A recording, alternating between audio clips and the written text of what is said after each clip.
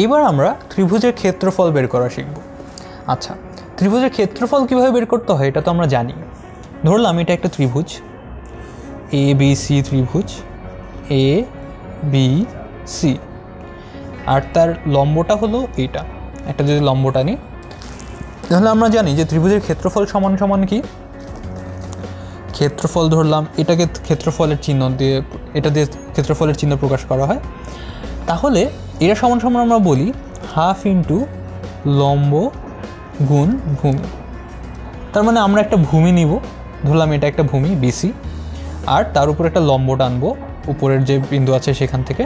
তাহলে half into লম্ব মানে এডি গুণ বিসি করলেই আমরা এই ত্রিভুজের ক্ষেত্রফল পেয়ে যাব। আবার দেখো, যদি আমরা এই একই ত্রিভুজটাই একই ধরলাম যে এই এবিসি ত্রিভুজ এ বি সি কিন্তু এই ক্ষেত্রে আমরা ধরলাম যে আচ্ছা ঠিক আছে, আমরা এটাকে ভূমি না ধরে অন্য একটাকে ভূমি ধরলাম ধরলাম যে, এসি হলো ভূমি। এসি যদি ভূমি হয়, তাহলে ধরলাম যে, এটা হলো গিয়ে তার উপর লম্ব। তাহলে এটাকে যদি আমরা বিডি নেই, তখন এটার ক্ষেত্রফল কী হবে বলো তো half into BD into AC যেখানে এটা হলো গিয়ে লম্ব আর এটা হলো ভূমি।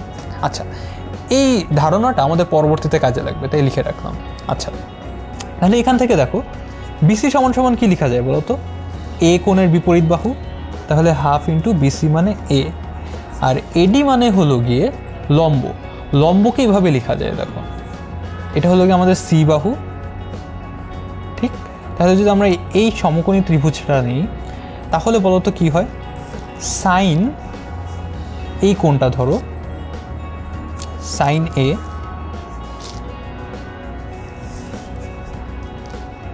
C sine B আচ্ছা আমরা এই ত্রিভুজটা নিলাম। ত্রিভুজ এ বি ডি আচ্ছা ত্রিভুজ এ বি ডি যদি নেই, তাহলে দেখো, এই কোণের সাপেক্ষে যদি আমরা হিসাব করি সাইন বি সমান সমান কী হবে? এটার বিপরীত বাহু মানে এডি ভাগ অতিভুজ। অতিভুজ কি? এবি এবি মানে কি বলো? সি তাহলে এডি বাই সি সুতরাং AD equal to C sine B আমাদের এখানে এডি আছে, এটিকে আমরা কি আকারে লিখতে পারি? সি সাইন বি আচ্ছা তাহলে এটা ইকুয়াল টু হচ্ছে half into AC sine B তাহলে আমরা ত্রিভুজের ক্ষেত্রফল কীভাবে বের করতে পারি? এ এটা এ গুণ সি এটা সি আর এই কোনটার সাইন নিয়ে আচ্ছা একইভাবে আমরা প্রমাণ করতে পারি যে ক্ষেত্রফল সমান সমান half into sine A equal to half into A B sine C এটা কীভাবে হচ্ছে? সেটা হলো আমরা যে কোনো একটা ত্রিভুজের ক্ষেত্রফল বের করতে পারি এভাবে। দুইটা বাহুর গুণফল যে কোনো দুইটা বাহুর, এবং তাদের মধ্যবর্তী কোণের সাইন নিয়ে। দেখো ফার্স্টে নিচ্ছি এ সি এটা আমাদের এ এটা আমাদের সি এবং তাদের অন্তর্গত কোণ বি তার সাইন নিয়ে গুণ করলে আমরা ক্ষেত্রফল পেয়ে যাচ্ছি।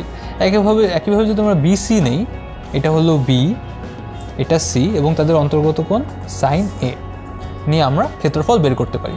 আচ্ছা এখন এই ধারণাটাকে কাজে লাগিয়ে আমরা ওই যে সাইনের সূত্র বের করেছিলাম এবং কসের সূত্র বের করেছিলাম অর্ধকোণের, সেটা ব্যবহার করে আমরা ক্ষেত্র, ক্ষেত্রফল বের করতে পারি। কীভাবে? আমরা প্রথমে একটা, এটা নিলাম। Half into BC sine A, এটাকে কি লেখা যায় বলো তো? বিসি গুণ হাফ ইন্টু বিসি গুণ two sine A by two into cos A by two আচ্ছা এখানে টু আর টু কাটা যাচ্ছে। বিসি গুণ সাইন এ বাই টুর সূত্র কি বলো তো?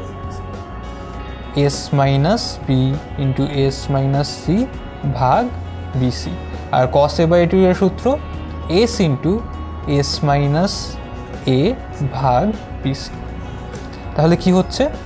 বিসি গুণ root over S into S minus A into S minus B into S minus C আর নিচে কি? Root over BC into root over BC মানে বিসি তাহলে বিসি বিসি কাটা। ইকুয়াল টু আমরা লিখতে পারি S into S minus A into S minus B into S minus C তাহলে আমরা একটা ত্রিভুজের ক্ষেত্রফলকে এই আকারেও প্রকাশ করতে পারি, যেখানে এস হলো আমাদের অর্ধ পরিসীমা। আচ্ছা আবার আরেকভাবে প্রকাশ করা যায়, বলতো কীভাবে? সেটা আমরা ত্রিভুজের সাইন সূত্র ব্যবহার করে প্রকাশ করতে পারি। আমরা বলছি ডেল্টা, তার মানে ক্ষেত্রফল সমান half into BC into sine A এখন সাইন এ মানে কত বলতো? Half into BC into sine A মানে এ বাই টোয়াইস আর তাহলে সমান সমান আমরা লিখতে পারি যে A B C divided by four আর তাহলে এটাও একটা উপায় যেটা দিয়ে আমরা ত্রিভুজের ক্ষেত্রফল বের করতে পারি। যদি আমরা ত্রিভুজের তিন বাহুর দৈর্ঘ্য জানি এবং তার পরিবৃত্তের ব্যাসার্ধ জানি, তাহলে আমরা ত্রিভুজের ক্ষেত্রফল বের করতে পারব। এই সূত্র দিয়ে আবার আরেকটা সূত্র আমরা কি শিখলাম আগের পেজে S into S minus A into S minus B into S minus C তাহলে আমরা ত্রিভুজের ক্ষেত্রফল বের করার দুইটা সূত্র শিখে ফেললাম।